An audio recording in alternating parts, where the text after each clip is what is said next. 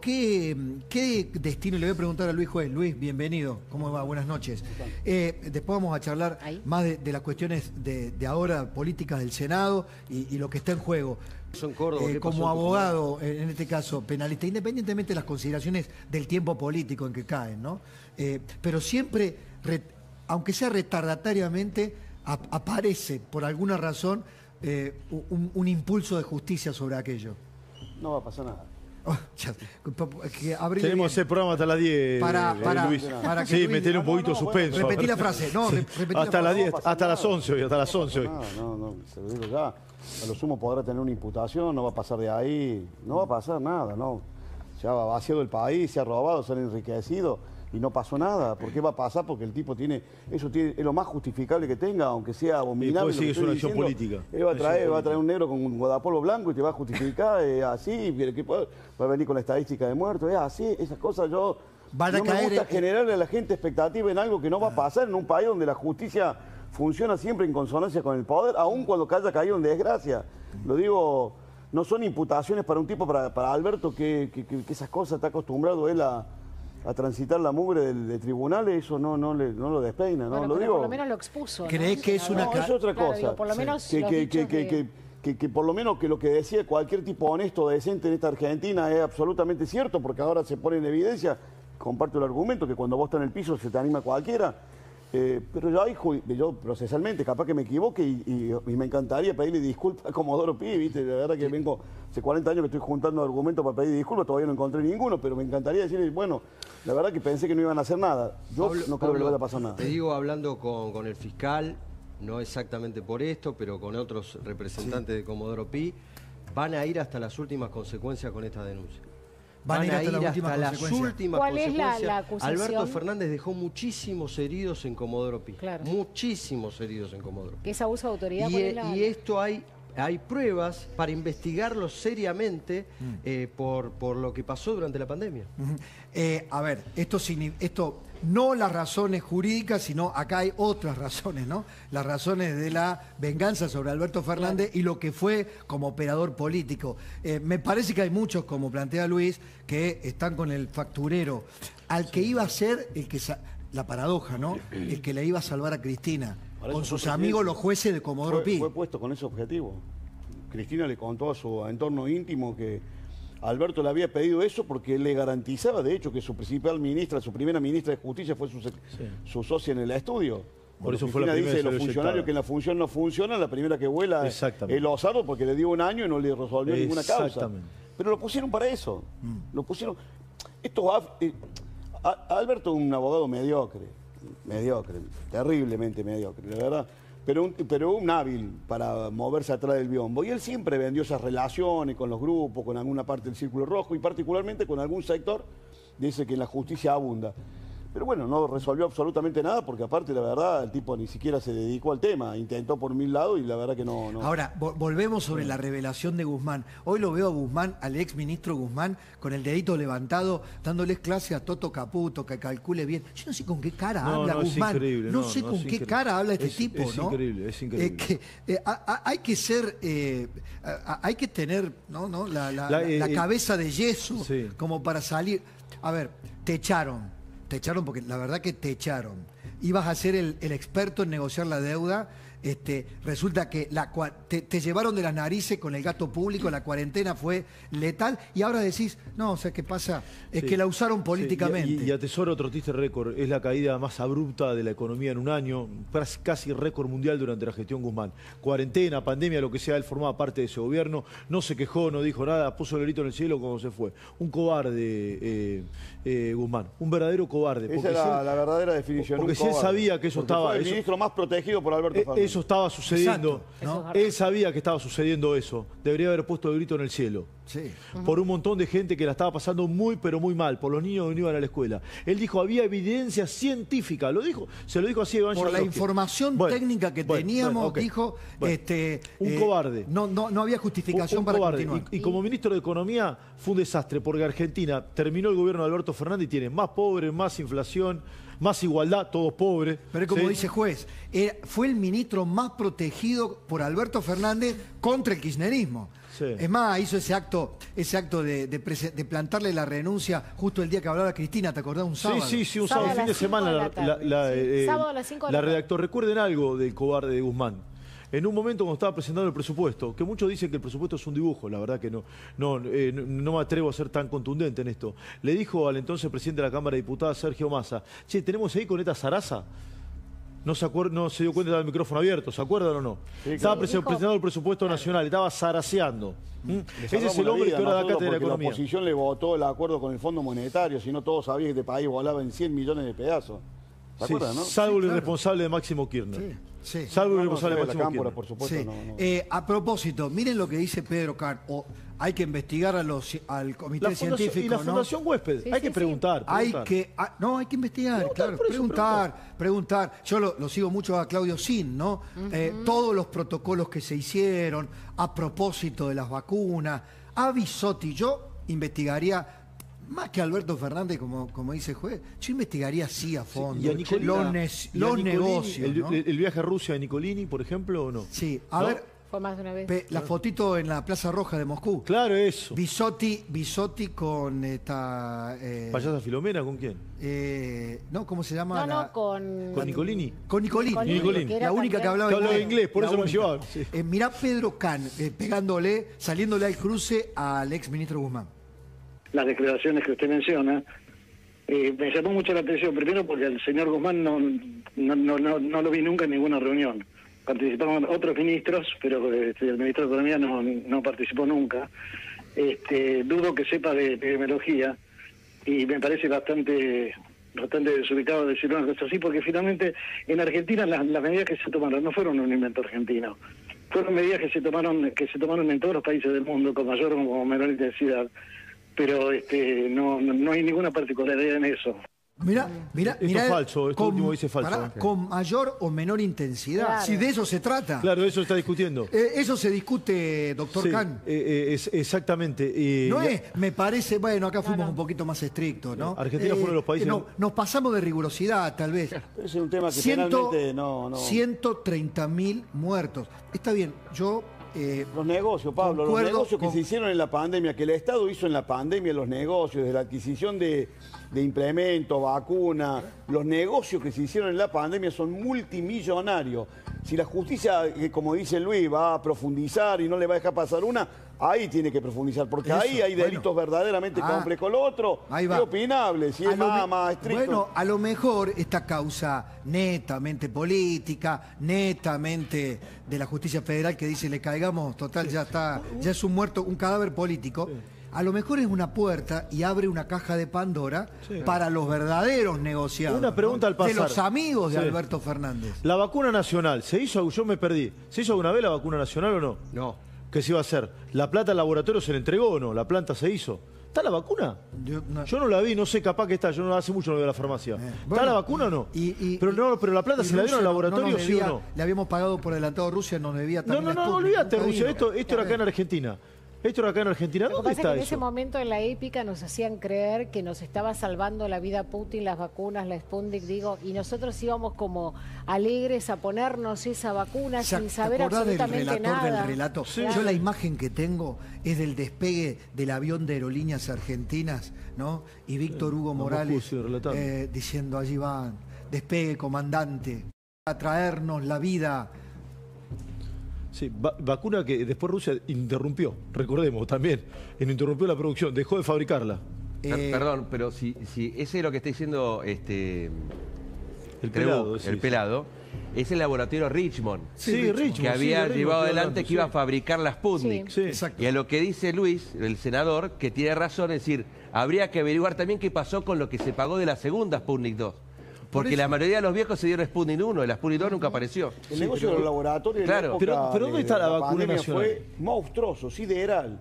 Eh, pero claro, hay que meterse con los laboratorios. A Elías le costó el gobierno, hay que meterse con los laboratorios. Los negocios que Alberto hizo con los laboratorios en el medio de la pandemia, con gobiernos provinciales y la adquisición de implementos fue descomunal. Si hay un fiscal que tiene ganas de investigar, ahí no tienen prueba para defenderse. Lo Pero otro sí me, la parece, pan- me parece que allí este, aparecieron los laboratorios nacionales y populares. Había, había algunos más nacionales y populares que otros, ¿no? Mirá, eh, Eh, nosotros en su momento hicimos un informe en la cornisa sobre la cooperativa Farmacop que el gobierno había eh, instalado como la primer cooperativa de salud de la historia La del mundial gel íntimo. del universo. Claro, que era la del gel íntimo, pero que te la vendían que en realidad estaba realizando el gel este, para las manos, Sí, para no, cuidarse. Eh, no se rían, no se rían. Bueno, sí, y, terminó sí, con un convenio de 500 millones de pesos por el gel íntimo. Sí, Una que- que no cooperativa fabricaba. bancada por Emilio Pérsico y por la gente del Ministerio de Desarrollo Social de aquel momento. Yo quise comprar, eh, Pablo querido.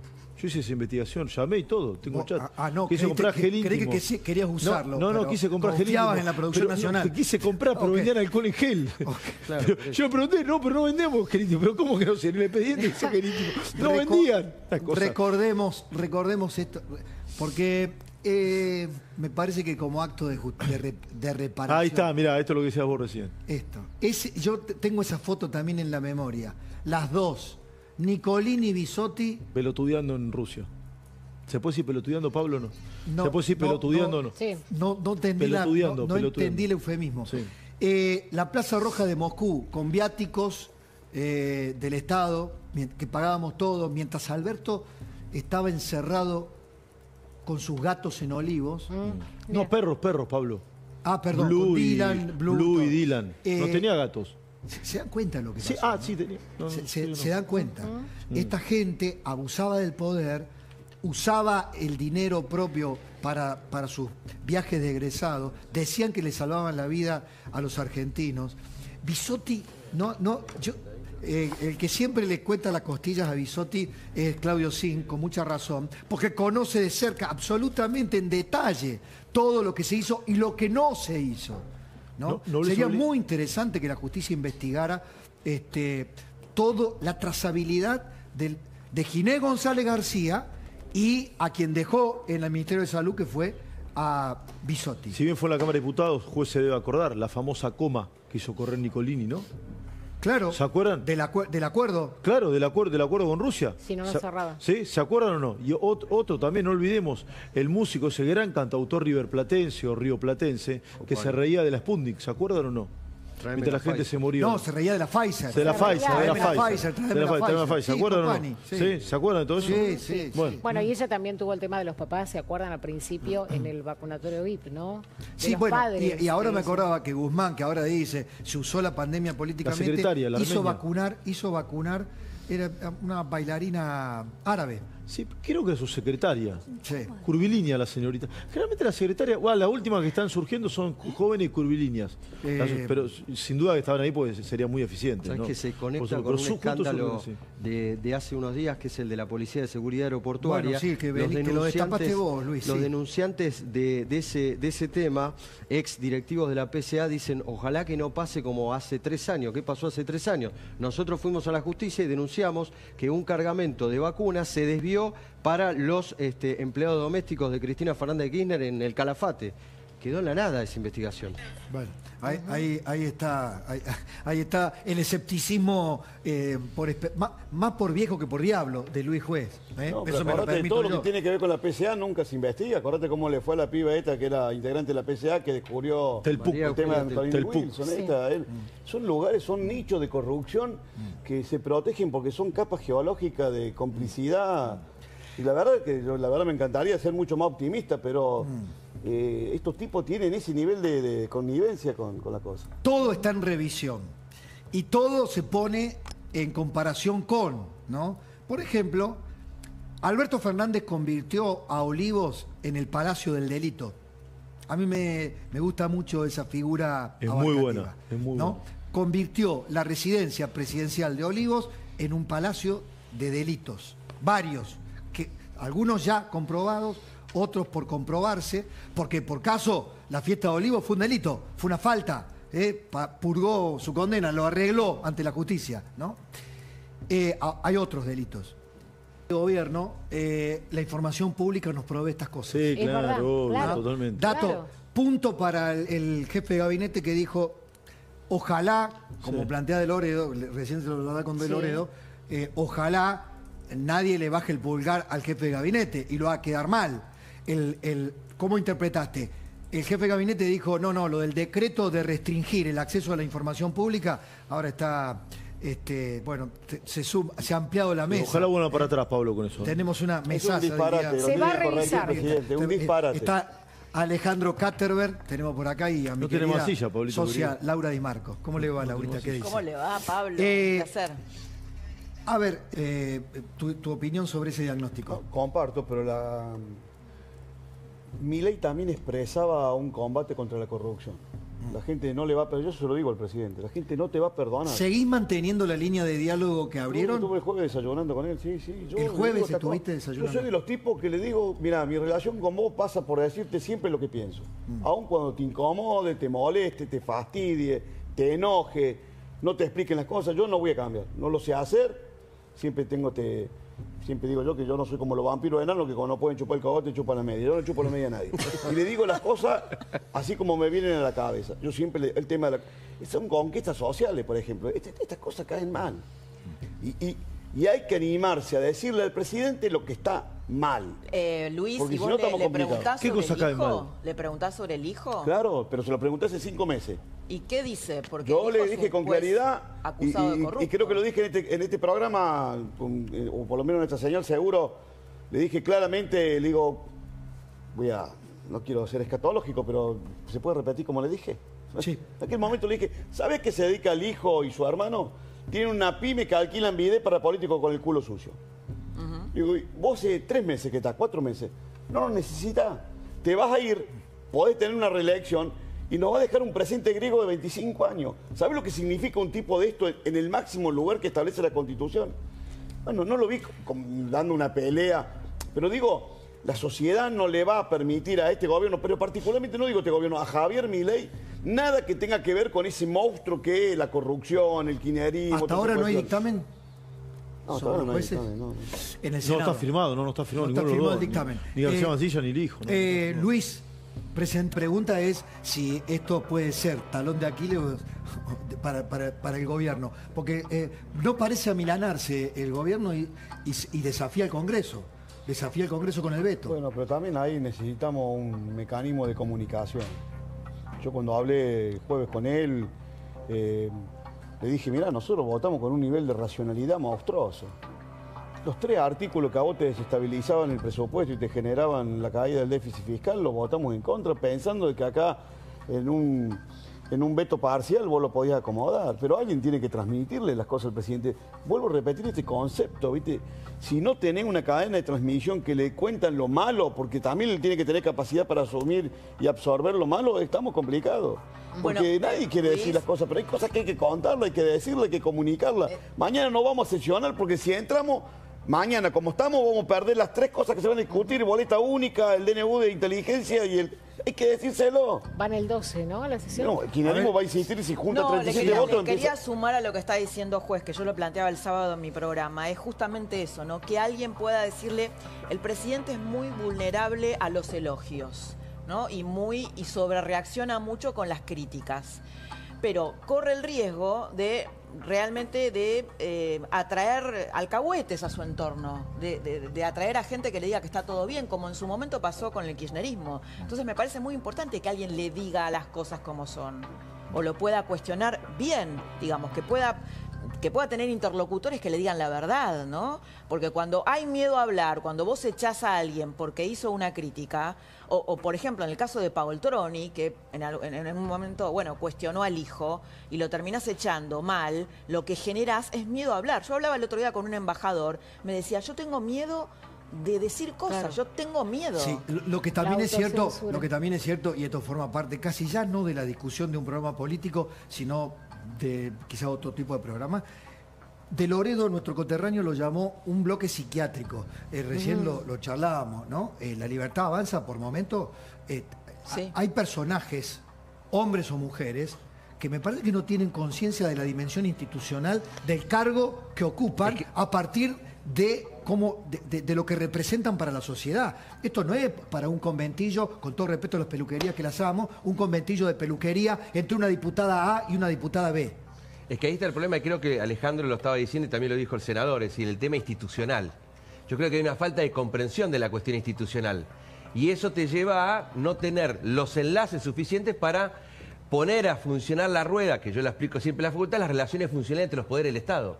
Es decir, hay, hay, un- hay, un- hay tres poderes que funcionan en forma separada. Entonces no hay una comunicación. Entonces, la- la- los desayunos de usted, senador, yo lo felicito. Estaría bueno que el presidente pueda receptar lo que usted le dice. Claro. Pero digo, vos, vos podés llegar, vos podés ganar una elección porque la gente se enojó con, el- con, la política. Con, con la política y el sistema, cómo funciona, y, y te da la oportunidad. Y la gente decide abrazarse a la motosierra y ahí tiene mucha más esperanza porque lo otro es el tren fantasma. Pero ahora las instituciones funcionan de una determinada manera. Y tenés que poner tipos que entiendan. Vos podés jugar al fútbol con buenos jugadores o con malos jugadores. Ahora Tenés que poner tipos que entiendan que con la mano no se juega el fútbol. Entonces, esto está pasando. Esto está pasando hoy en el Senado. Nosotros tenemos que hacer un equilibrio monstruoso para no perder ese bloque mayoritario que podía. Porque necesita leyes. Claro. Y eso hay que explicarlo, hay que contarlo, hay que trabajarlo, hay que construirlo. Eh, en, el, en el cierre, eh, Poliarquía ha demostrado cómo Alberto Fernández es un presidente del récord Guinness. Eh, Podemos mostrar, y Alejandro Katterberg lo explica, la imagen de Alberto Fernández. Bueno, es, es casi anecdótico ya el, el tema, pero 92% de imagen negativa es el registro más alto que tenemos para cualquier dirigente en la historia de que medimos hace ya más de 20, 30 años.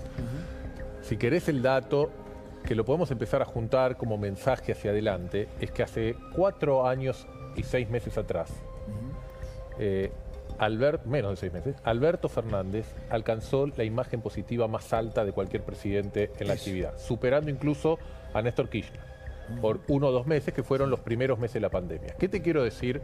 Y acá vamos a lo que hablábamos antes de la opinión pública, y acá- hablábamos antes de lo que decía el juez, y acá hablábamos antes de cómo en algún momento eh, están todos con vos y en otro momento se cambia. Alberto Fernández pasó en cuatro años de ser el presidente que mayor popularidad registró a ser el dirigente con mayor imagen negativa que tenemos evaluado jamás. Entonces, las cosas pasan, pasan rápido. Hay, como vos hablabas, el gobierno y el partido del presidente tienen que tener recaudo, sobre todo en comprender algo, Pablo. La situación en Argentina, obviamente hoy está mejor que en diciembre del año pasado, pero sigue siendo de una fragilidad Totalmente. fenomenal. Una Guillermo fragilidad. Yo siempre lo cito a Guillermo, habla del momento actual, fragilidad con ansiedad. Bueno, pero hay una fragilidad en términos económicos, porque todo sigue estando Sí. muy finito. Hay una fragilidad en términos sociales, que lo vemos con el aumento de la pobreza, la desempleo. De- de- de- hay una fragilidad institucional en la relación de la sociedad con el sistema político. Hay una fragilidad de los partidos políticos institucional, porque hemos visto que los partidos han colapsado, sobre todo la coalición antiperonista más exitosa de la historia de la Argentina no existe más. Los partidos al interior están todos peleados, quebrados.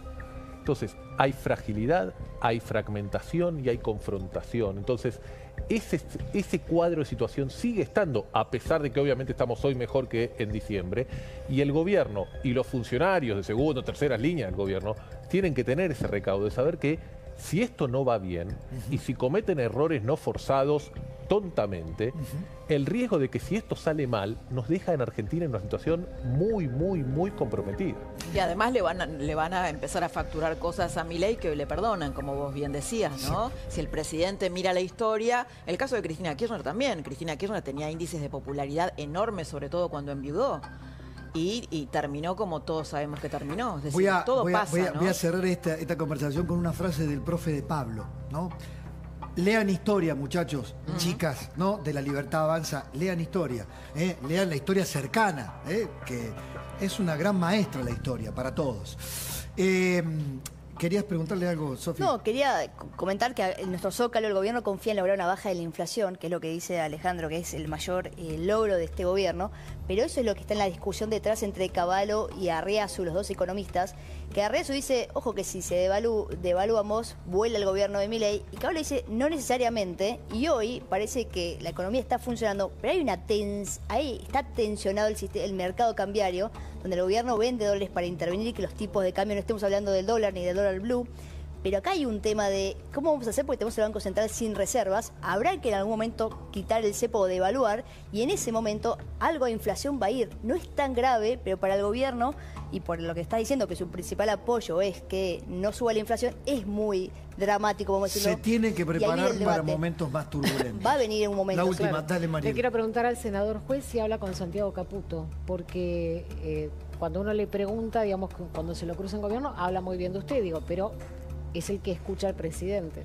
Eh, le dije al presidente, necesito que me lo presente y tuve una reunión, he hablado tres, cuatro veces, cruzado mensajes. Y a él le dice lo mismo que a mí. Le he sido, pero he sido a los jueces, bestial. Y para colmo, para desgracia, todo lo que dije que iba a pasar sucedió. Le dije, mira, vos proponete senador, este senador no te lo va a votar el kirchnerismo y te va a votar Lusto. Eso no va a suceder. ¿Quién es el presidente de la comisión? Lusto. Le digo, ese, ese DNU yo lo hubiese mandado 10 de 10 mil porque hacía una locura, te lo van a voltear, lo volteó diputado y en la próxima sesión el Senado lo... Yo, te digo la cosa, como yo lo veo, he aprendido a pedir disculpas si me equivoco, pero la verdad eh, me parece que la forma, y lo vuelvo a repetir porque, y créanme lo que le digo, lo que hay al frente es el tren fantasma, mete miedo, pero muchas veces la gente convive con, con el miedo, entonces digo que eso no sea una excusa, porque hay una gran expectativa, una gran esperanza, pero con un nivel de fragilidad monstruosa. El informe de las 22.